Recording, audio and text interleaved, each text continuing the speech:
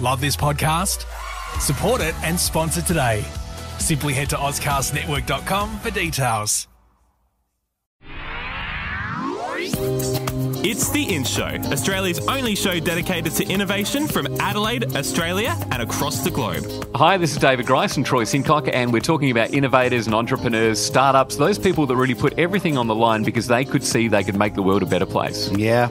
And how's your week been, Troy? It's been incredible. In fact, I've been all over the place over the last you know ten days or so. I spoke at the Electronic Music Conference in Sydney and facilitated a session called "The Future of Radio." It had uh, people from New Zealand, you know, Triple J in, in Sydney, and a, a, whole lot of other stations come together. Um, and you know, innovation is absolutely rife in the world of radio right now, particularly with things like Apple CarPlay, where you know currently you might be in a car listening to Radio Adelaide, and then go home, wake up in the morning, your radio's still on Radio Adelaide. With Apple CarPlay, you basically end up with a home screen not dissimilar to your phone, and if radio's not there, it means that people have to proactively choose radio. So for the industry, there's some real challenges around that mm. space and um, where we need to be to capture people's attention. And I think too that sort of feeds into what television is going through right now because of the fact that you know you've got all these streaming services and things like that, and people can get the on-demand content. Um, so there is huge challenges around media right now. Yeah, absolutely, in all aspects. And the thing being, there's so many different platforms. You almost have to be on everyone. So how can you do that without spreading yourself too thin? Well, that's the hard part, isn't it? Just actually pulling it all together and, uh, and seeing, um, you know, how you can ensure that you're in front of the, the right people at the right time. We've got a different kind of innovator on the show today. We certainly do. We've got Emma Hack. Now, she's an incredible artist who's innovating with a combination of painting not only on canvas, she's doing body painting and she's also doing the photography as well. Uh, and she's actually worked on Gotye's number one hit somebody I used to know. That was a massive song, and that film clip was really incredible. And what an opportunity that was for her. I just can't imagine how incredibly good that experience would be for for yeah. somebody. Yeah. yeah, can't wait to hear more about that. Well, now here's Claire with more in news, including a robot dog, the quietest ever produced. What else have you got for us, Claire? Thank you, guys. Researchers in Denmark are repurposing old drugs to fight the current antibiotic resistant epidemic. The team at Aarhus University has found that a drug that's been used for over 20 years to treat multiple sclerosis can destroy gram negative antibiotic resistant bacteria. Gram negative clusters are responsible for life threatening infections, including pneumonia, septic shock, and cystitis, which are often resistant to the usual antibiotics. The researchers have explained that the drug Copaxone can kill this type of bacteria in just a few minutes. This medical breakthrough is an important step in dealing with the widespread issue of some types of bacteria becoming resistant to antibiotics. According to a study initiated by the British government, in 2050, resistant bacteria will kill more people around the globe than cancer. It takes around 10 years for a new medicine to be tested and deemed safe for patient use. Let's hope more research can continue to uncover new ways of using old drugs to save lives. In China, a robot powered by artificial intelligence has passed the country's medical licensing exam, proving its potential to become a medical assistant. Robot Xiao Yi passed the exam with 456 points, which is 96 above a passing grade.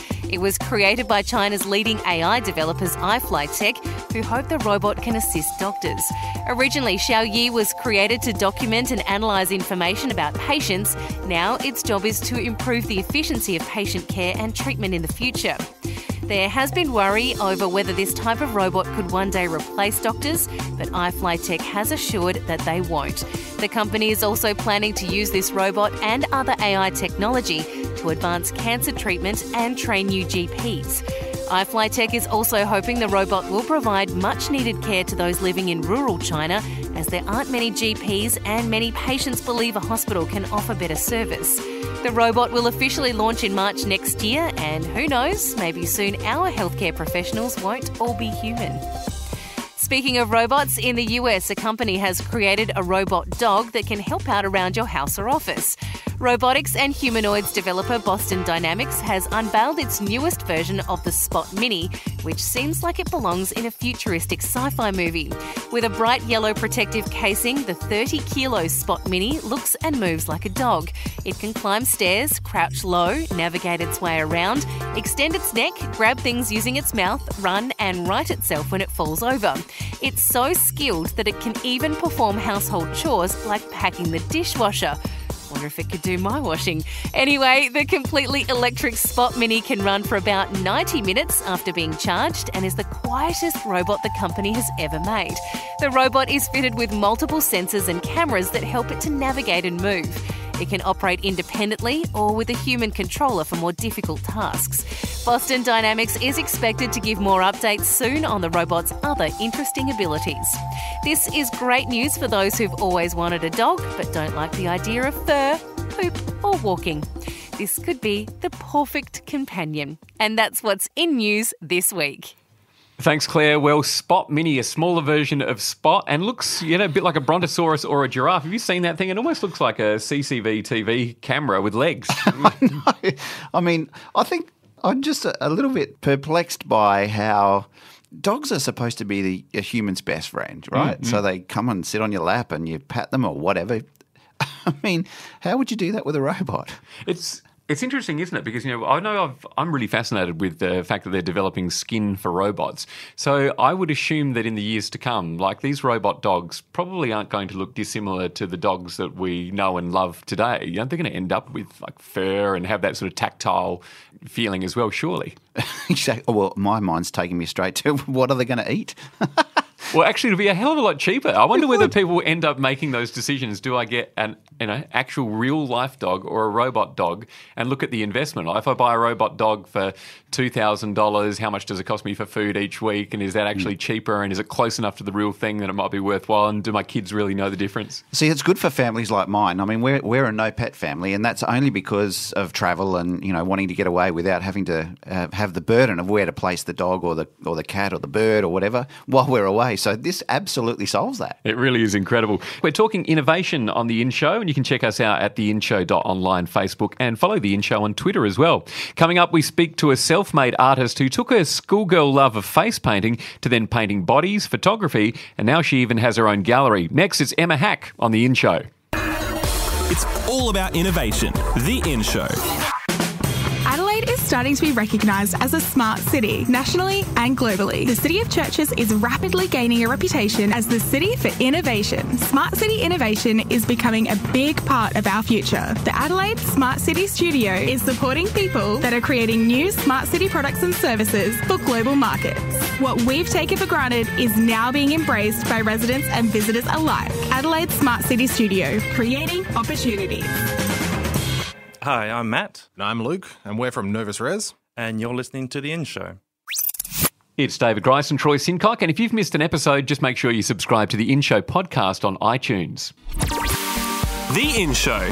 Well, we're joined by Emma Hack, an Australian artist who's really um, working in a very unique medium. David, um, for those people that don't know Emma's name, they certainly would have seen her work. Absolutely. I mean, she's uh, she's done work for film clips like Gotye, as we mentioned before, and some of the stuff that you can see uh, online, particularly of what she's done, is just unbelievable. Yeah, she really has a unique perspective. Uh, you probably know her as the body painter, but there's lots more to her than that. How did your entrepreneurial journey begin, Emma? Did the body painting come first? Well, yeah, actually, it did. Okay. Yeah. Well, I started off as face painting when I was, you know, young at school and just earning extra pocket money on the weekend. And I'd seen some advertising for the musical Cats and realised that that's sort of what I really wanted to do.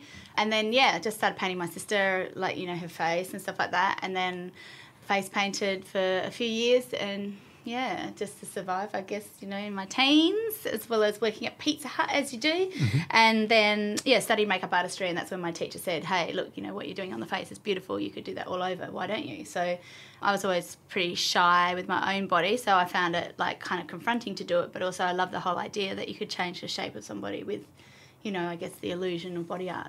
Mm. And so at the time, you know, that you decided to really step into it, you know, in further study, did you realize how good you were at that point, or did it take others recognizing it in you? yes, I did realise I was good at it. Like I had a gift, but there was no means to use it. You know, hmm. like I guess back then, you know, I live in the city of churches here in Adelaide, hmm. and you know, it was I was a weirdo painting nude people. So, you know, it's sort of one of those things. But then I sort of got in, into the club scene around the same time and started doing promotions at nightclubs, and then started building, you know, my body painting into the dance shows and performances and parades and stuff there. And then, you know, it was always Emma Hack Presents. And so, like, you know, that audience is now of a mature age buying art. So it's actually turned out to my advantage. But I guess I sort of fly by the seat of my pants with everything I do. And You know, I just sort of wandered along, but it was frustrating in the beginning, and it was also there was no reference of it. Like there were no books on body art. You know, it was very I guess the contemporary style of body art that I do, obviously it goes back indigenous years. Like it's one of the first art forms in the world when you think about it. But for me, there was I didn't know that there was anybody else doing it until the web, you know, inter- interweb started. So yeah, and that's when I realised there were other people, and I sort of connected with them and started getting jobs overseas, and it started rolling. So you're clearly pioneering in this area, really. And did you think from the start, when you first did your first piece, that it would ever go to the extent that it has? Yeah, uh, yeah, absolutely. So I have extremely pie in the sky ideas, and a lot of people um, thought I was nuts and crazy, and you know how could I make a career out of it? But I think if you put your mind to anything, and also you know, I mean, there's a lot of painters out there. So you're competing with all these painters. But if you're doing something that's fresh and new, maybe it might take you 10 to 15 years to get to the point where your work is appreciated, but you're way ahead of the rest of them that might have started even five years ago. So, you know, it's become very popular in the last, I would say, 10 years, probably since 2005, 2006. Um, it's when my work dropped off overseas. And before that, I was travelling everywhere. But Mac Makeup actually bought out a body paint and then trained all their staff. And so, therefore, everybody around the world was painting of some sort. And it was a lot cheaper than hiring a chick from Adelaide in Australia to then to go all the way to Dubai or, you know, Canada or wherever we were going. So, yeah, that work dropped off pretty swiftly. But back then, that's when it sort of became, like, I guess, popular. What came up for you when um, you realised that was occurring around you? Because you know, particularly as a pioneer, here you are, you know, thinking you were the only person doing it, then discovering there were a few others around the world, and by virtue of what you guys have created, has become a much bigger thing, and now it's sort of being commercialised by other people. Did you see that in any way as you know uh, people capitalising on something that you'd created? Look, you know, for me, like there's other artists that were before me as well. So there's Veruschka, who is late 60s, early 70s, used to paint herself into rustic walls and backgrounds. Um, she worked as a performance artist. She was also like, you know, I guess the the first sort of supermodel. Um, it's a very famous photo of her in a safari suit with the big hair and you know, Herb Ritts shot her back in like you know, black and white photo.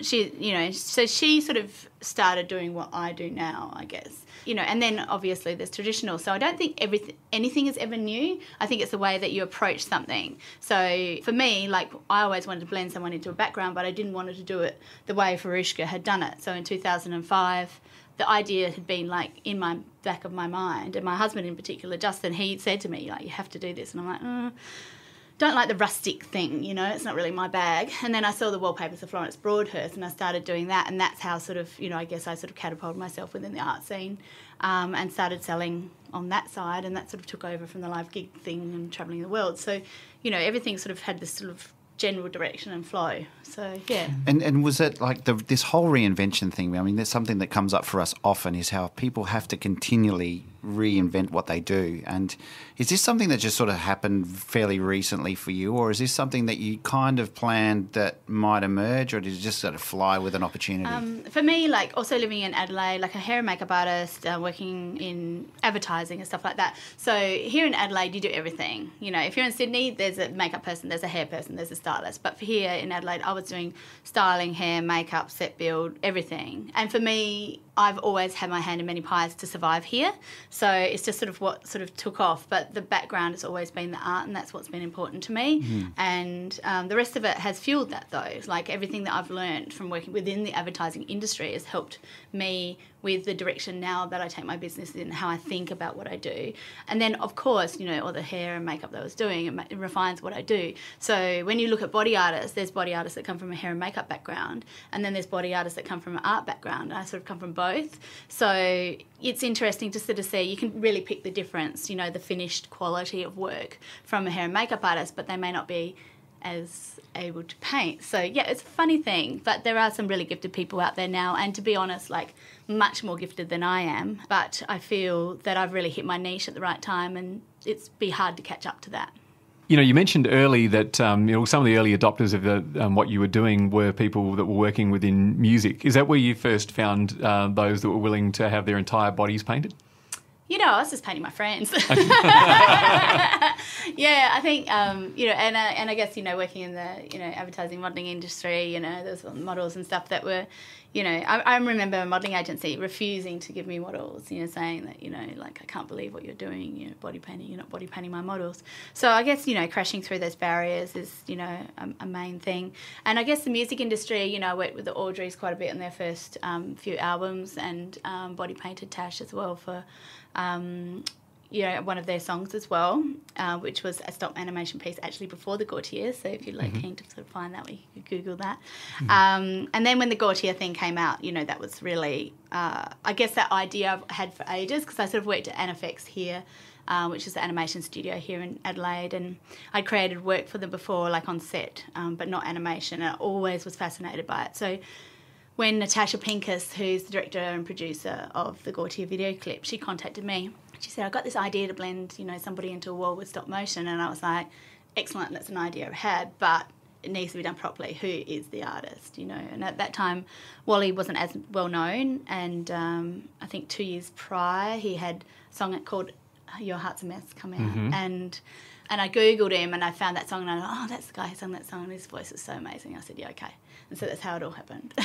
Wow. And what did that mean for you? I mean, that song was number one all over the world. Yeah, it was really surreal. Actually, to be really quite honest with you, it was a really difficult shoot.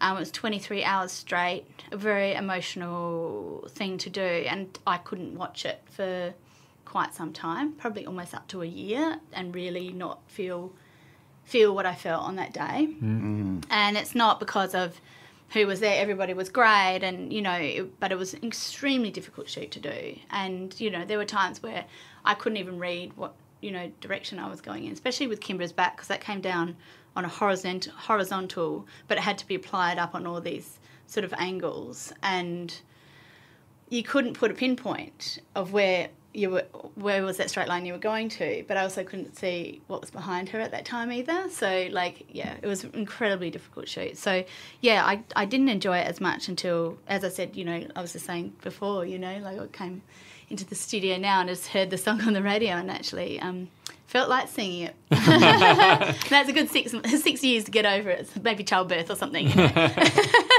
So perhaps just explain to us a little bit about the process that you go through when you do paint somebody, and and just about those difficulties. You talked about not being able to see the background and those sorts of things. Uh, just maybe could you share with us a little bit about you, how well, you the do way, it? The way I set up my work is I either paint a background or the wallpaper I've used in the past is Florence Broadhurst, is an iconic Australian wallpaper designer. I hang the background and I set up my camera, and that's my viewpoint. So perspective is everywhere, just straight through the camera. So my model will stand in position, and I'll sort of line up the background with how I want it to relate to her. And if I painted the background, I sort of I have an idea of where the body's going to sit within the work. And then, yeah, I look through camera, I run over and paint a line. Usually I start on top of the shoulders, and then I run back and I make sure it lines up, and then I keep on going backwards and forwards. I probably do it the hardest way possible. I'm sure that you can project or have a screen set up on your side. Usually, if I did like major commercial work, I'd do that. But to be honest, when I'm creating, I like it to be really organic and especially if I was creating her work, I found like I wanted to have a bit of Emma in it. So there was a little bit of freedom and push in the actual work that was on the body. So it wasn't just so structured and regimented to Florence. And I guess towards the end, especially, that was a frustration for me, is just recreating somebody else's work. So it takes like eight to 15 hours. I was going to say, You how know, long does it it's take? crazy, and the models have to stand there pretty much the whole time. We can break, but the longer you break, the longer it takes. Yeah. So you know, I just sort of I work with quite similar girls all the time, mainly because it's just easier that way, and they know what they're getting themselves into. And some Yeah. people can really do it, and some people really can't. Some people faint, and you know Mm. all those things. And when someone faints, they sweat, and then the paint's water based, and you're kind of like retouching everything. So, you know, and it's quite common for someone to pass out because they're sort of trying to hold still so much that their concentration is a lot more than what they ever thought it would be. Mm. But yeah, it's you know it's an interesting art form to do, and also the other side of it now as I'm getting older, like I'm 45 now, and I love the fact that my girls are getting older with me, and I'm still working on them, and they still want to be part of the process, and you know the whole aging philo- philosophy in society now is like something that needs to be embraced a little bit more. So for me to paint an 18 year old now for one of my artworks doesn't really make any sense unless I'm making a comment on Gen Z or something, you know. Um, so for me, it's important to keep on painting the people that I painted in the past as well. And do you go into these shoots with an actual preconceived idea of what you're going to do on the body, or is this something that is part of that creative process that just you know, if I if I went in one day and created something, and then I went in the next day and created something, they would never look the same, and I would never want them to look the same, and I would never go back and create again. So whatever you see of my work is the one time I did it. I don't like being stuck. Mm. so or regimented, like all put into like a box and to create. So like I'm. I've never probably been very interested in film work, for instance, because continuity is just a nightmare and not enjoyable for me at all, especially with body painting, because I really love the freedom and flow. And I think, you know, there's different energy on different days from different people as well, like what they might want to bring to the shoot as well, depending on how they feel. You know, sometimes they're having a good or bad day, but, you know, you can always draw emotionally on that in the actual artworks when you're directing at the end. So, you know, that kind of thing is interesting. How do you cope with, you know, all the investment that you've just talked about, and then when there's something hanging in a gallery, someone stands in front of that piece and just makes a judgment then and there? Yeah, that's the hardest thing also about owning your own gallery is that you do hear that, and you know I go to art fairs and sell my work now as well. Um, but I'm really quite disconnected from my work when I've done it, um, and I know what I like, and I'm okay if you know.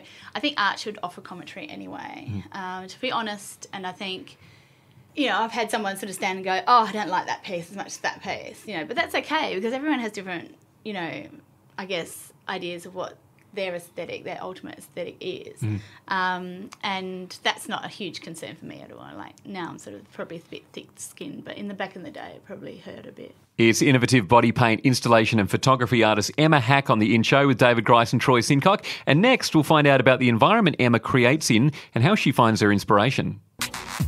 Download the Phoner app before you head to your next event. Find people easier, market yourself better, and get connected using Phoner. That's spelled P F O N R. Phoner. Available in the App Store now. Hi, I'm Louise Nobes from Inspired By, and you're listening to The In Show. It's David Grice and Troy Sincock on the In Show. Subscribe to iTunes and listen to the In Show podcast for more innovations. Today, we're speaking to Emma Hack. Emma, do you have anything around you that helps inspire your creativity as you're doing your art? Uh, is there any music playing or some inspirational words that you're hearing, or is it just something that you do in silence? Yeah, no, I'm not an inspirational word kind of person, but I'm very. I like to. Well, music. I'll I'll tend to start on something that's really just quite calm because I'm feeling my energy is quite.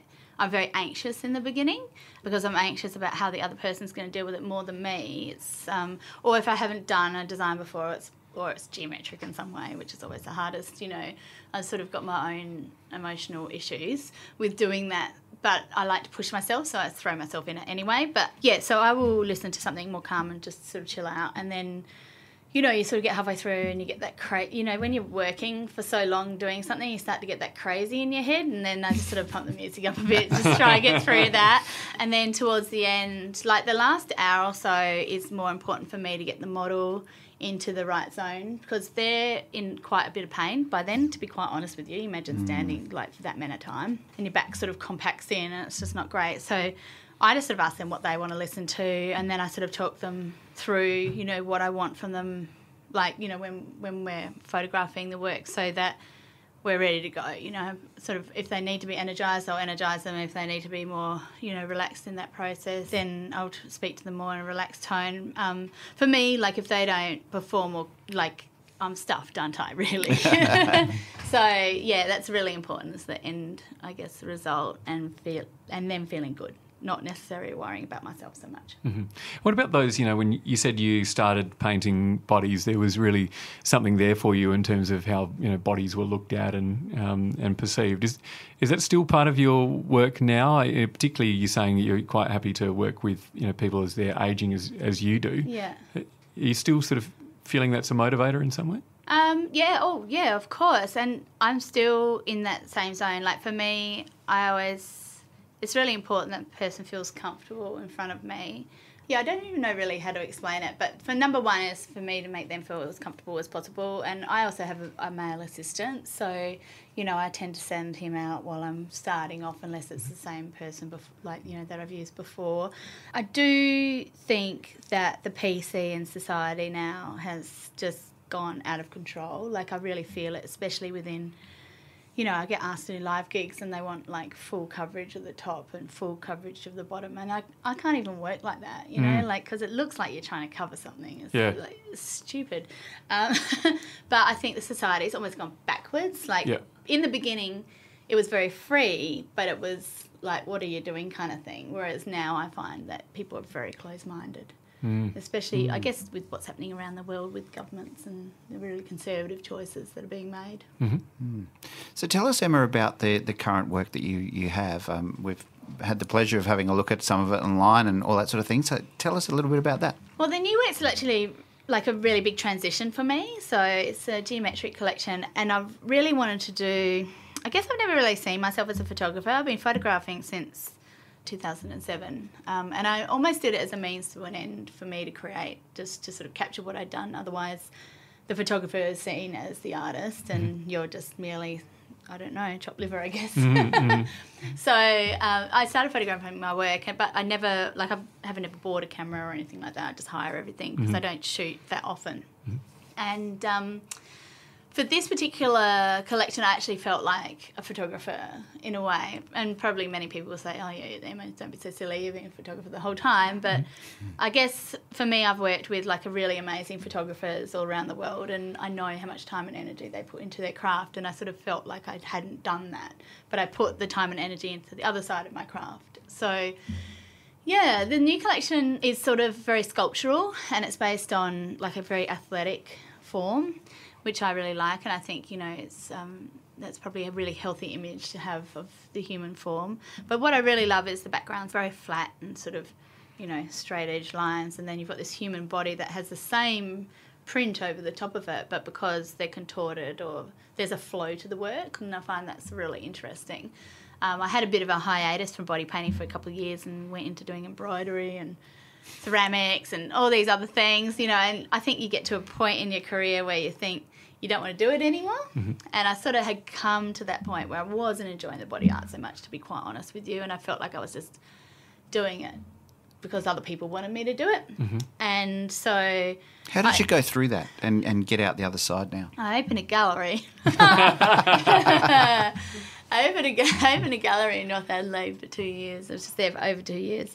And what I did was I made it my studio. So I've never really had a studio before because, as I said, I sort of create like, um, I, I create like really quickly. So if I have a deadline, I'll usually work up like really tight to it. I'm the chick that did homework like the night before it had to be in mm-hmm. kind of thing. So the same thing sort of applies to everything I do. But it allows me to sort of think about what I'm doing and get to the point where I'm really happy with what I'm doing. Like if I created it too early before the exhibition, I might change my mind and not include it. So this way I have to push myself into doing it. And I'm really manic and my husband really doesn't like me when I'm going through that phase because it's not easy to live with me. I'm like, it's only two weeks of your life putting up with me like this.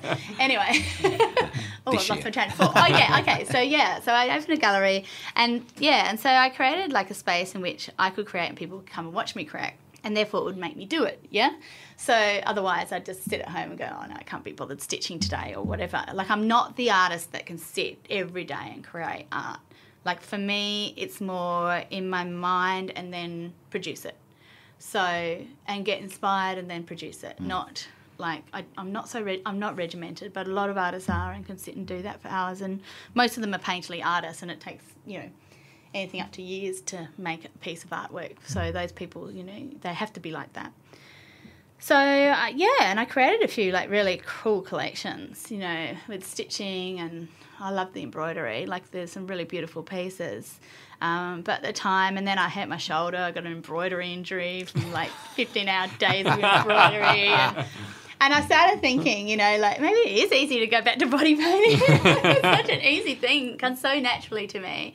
So I feel like, you know, I learnt that really I did have a gift and maybe I didn't appreciate it as much as what I should have. And now I appreciate it again. And I guess where I'm at now is that I sort of am realistic about where I'm at So I'll create a couple of collections a year, and then by moving out of the gallery, I've been doing a bit of community service and things like that in that space and sort of giving back to sort of I guess the area and things like that. And I really felt like I wanted to move that forward, but I was burning out doing it and trying to work out how the best way of doing that is. So um, I've been running an art prize for four years, and so I've put together a collective with all my art prize finalists, and now I'm showing them in a gallery space and giving them opportunities to show their art. And to be honest, we've been open for four days and we've sold like 12 works already, Wow, which is great. that's incredible. Mm. Yeah, the artists are really happy, and I'm taking them to Hong Kong in March and all these other little things. So by doing that, I guess it becomes a business, but I'm able to help people, and I can still feel the community side. So that's kind of where I am. I'm going back mm. into the gallery thing again, but this time being realistic and really focusing on my collections being really, really strong. Body mm-hmm. artwork and things that haven't been done before is ultimate for me. Like I always want to be sort of first at trying something. Like um, I don't know if you remember the crash car Yep. mo- motor accident commission. Yes. So um, the body sculpture of 17 people painted as a car, and then that's sort of become a very big wild, wo- worldwide body art thing. Like there's this amazing guy over in um, Italy called Johannes Stötter, and he's now you know really taken that and you know the contortion of bodies and making animals and things like that. And you know he's become quite famous from doing it which is really great. So there's movements that are happening from things that i have maybe triggered ideas with with what i've done um, no one's ever done the Gotye thing though again like, the stop motion body art obviously is like a bit of a nightmare so yeah, that's kind of funny. But it is nice, I think. And I'm not interested in doing, you know, the sculptured body art thing. It's like that was nuts, you know. Like I feel, and I feel like I did it. I did it really well. I was asked to do it again for a really big campaign, and but I wasn't incredibly happy with. I didn't think the result would look as good. So there's no point in me doing it again. So I guess you know where I am in my art career is that I make the choices of whether I decide to work with a company or do something or not, and not just take it for the money because, yeah, if you're not moving forward, I don't want to move backwards. I think mm. that's really a good thing to do. Mm. a really hard decision at times when you know you're you know living in the art world and you know you don't necessarily have that you know weekly wage like everyone else has in other jobs. So to to say no to something and know that you might not know what's on the other side of it, you'd have to really back yourself in. Yeah, 2009, 2010, that really happened. Like, it was, honestly, it was a 10 double page spread in Harper's Bazaar for Fendi. And it was like, it would, it would have launched my career. So the Gotye thing was like my sort of reconciliation for what happened with this situation. And, um, and they said, oh, you know, we've got these handbags. And around the time, I think Louis Vuitton were doing, you know, the sort of um, the Japanese designers work with all the cute characters and stuff. And I thought, oh, they're doing something like that. That'd be kind of cool to paint someone into a background, la la. la. And I jumped online, and the deal was done. Like it was well paid, the whole works. You know, like it was it was the launch of me to luxury, you know, land. And um, I looked online to sort of see what the up and coming, and it was all snake and crocodile hand skin um, skin bags, you know. And I have live animals in my works. Like they'd seen the crocodile, obviously, um, which is Florence Broadhurst wallpaper with a girl holding a crop. And I just said to them, I'm like, you know, I can't promote like this product and they're like don't you know who we are and i was like well yeah i'm really like i've been crying for 24 hours before i made this phone call to you but they were absolutely furious and i got really black banned actually after that. There was a couple of other jobs i got offered for and they went you know to the directors for whatever reason. It was like in hong kong. So the hong is a pretty small place doing mm. events and things like that and they just were like nah and people would come back to me going what have you done? You know? Mm, mm.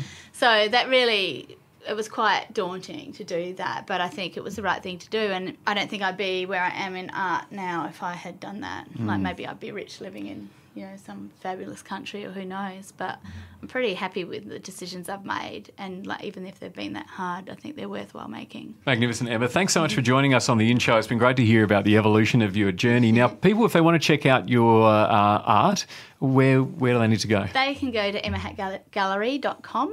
Uh, they can also join my Facebook, and there's Art Bar Adelaide, which is my new business, I guess. So it's a gallery and a bar, uh, which is always fun. Sip on some wine and have a look at some art. Um, and then yeah, and then you know I'll be traveling to if, if you're hearing this in Hong Kong, I'll be over for the Asia Contemporary Art Fair in March. So, yeah, Fantastic. Thanks so much for joining us. thank you. It's all about innovation on the In Show. And if you know an innovator that we should have on the show, just drop us a line at theinshow.online. You can check us out on Facebook and Twitter. Next week on The In Show. We chat to Melissa Cooper. Now, she's a UX strategist and she specialises in helping organisations adopt a customer centric approach to strategic product decision making and the implementation of good customer experiences. And blockchain, Troy, has come up several times on the in show. And next week, we're going to hit that head on. We've, we've got Frank Falco coming in to unravel the mystery that is blockchain. I tell you what, I could do with a bit of unraveling around that one. It's uh, it's one of those things that you know we all know exists, but what does it actually mean? Yeah, and what does it do? How's it going to affect our lives in the future? Exactly. Claire's going to be back next week with more innovations from around the world. And check out the inshow.online, subscribe to iTunes and listen to the podcast and rate us five stars if you like. Well, I've thoroughly enjoyed this show this week, Troy. Emma, amazing. Absolutely amazing. And uh, we're going to talk more about what's in next week on the In Show. Now, before we go, here's Moira Deslandes from Chooks SA talking about the importance of community and how she built her organisation from a Facebook group. I um, became motivated because a number of young women in particular were telling me they were facing quite a bit of sexism and, you know, just the silly jokes about women in business and things like that. And I just said to them, oh, well, you better fix that up. And they said, actually, no, we'd like you to help us with that. I thought, well, maybe there's a few other people who'd be interested in this. I'll just start a little Facebook group with a few friends and see if they've got any other friends that might be interested as well. And so I just did that for a month or so, and then we launched in May. Um, and I thought it'd be really good if we could have 100 members in the Facebook group by May, and we did. And uh, we're knocking on the door of 800 people now, and it's a closed Facebook group. So it is building on the concept that friends invite friends. Everything's about relationships, and we know that in if you're trying to build a movement and trying to build collaboration, that's what you need to do. It can't be a free for all. It really needs to be connecting and deepening those connections and building the trust. And I think that's one of the problems that in the startup world has got is that women have felt excluded. Their ways of working haven't often been reflected in the way that a very masculine approach to, you know, gung ho, let's get out there, let's pitch, pitch, pitch, rather than taking things in a way that understands the networking nature of how ideas and decisions actually get made. The In Show, brought to you by Adelaide Smart City Studio. Subscribe to the In Show podcast on iTunes. Presented by David Grice and Troy Sincock. News by Shannon Corvo and Claire Murphy. Music by Zach Grice. Produced by Jason Walker. A Dave and the Beanstalk production.